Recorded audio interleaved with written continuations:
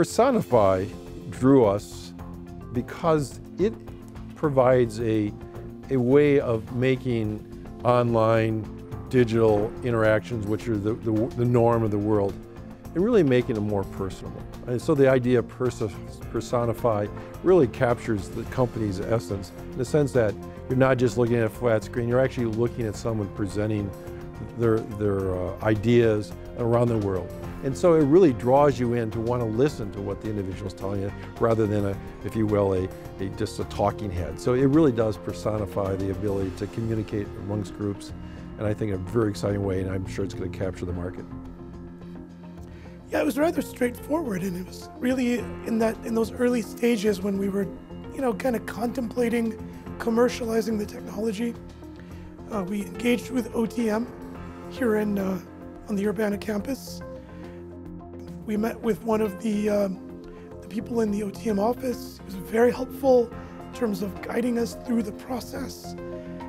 There were a couple of key inventions that were done here at the university that, that OTM helped us protect through provisional patents. A particular person worked, worked with us in terms of crafting a licensing plan for that intellectual property back into the company You know, a plan that really fit with the vision we saw for the company.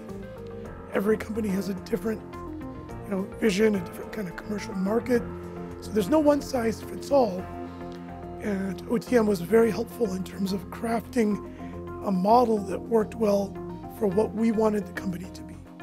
Sanjay Patel is the faculty founder of Personify, actually in Mindo, but Sanjay had done a startup company before, it had raised money and had sold to another large corporation. He originally thought he was going to do this company and in no way was interested in doing it in the state of Illinois. He said he was going to consider, you know, California or some location like that. So immediately that's the challenge that we needed to address and figure out how can we make this work and convince him it's possible to do it here. Um, he started attending our CEO roundtable. We got him involved in TEDx a production event uh, where they could showcase their technology live for the first time. And he warmed to the idea that he could do his company more easily by being a faculty member here, having his day job as a professor, but having a startup company closely, closely next to campus at Enterprise Works. They then took advantage of many of our resources for assistance, including an introduction to Illinois Ventures, who eventually funded the company. Uh, our relationship with Illinois Ventures has been extremely positive. We engaged with Illinois Ventures very early in the process, shortly after, you know, sort of drafting our agreement with OTM. Illinois Ventures helped us get our feet on the ground, provided seed funding, helped us catalyze a product vision I, I really link our success, the point where we are today, to our involvement with Illinois Ventures. That company then grew in Enterprise Works for about three years. We would make introductions to customers, have their employees attend many of our events, and as they grew, they gained more success commercially to the point where we said it's no longer really time to be an incubator company, you've hatched, and now it's time to go be successful elsewhere.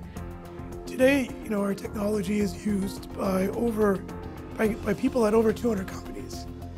Um, but we're really looking forward to a world where the technology we've developed here that started here at the University of Illinois ends up on everybody's smartphone, tablet, laptop.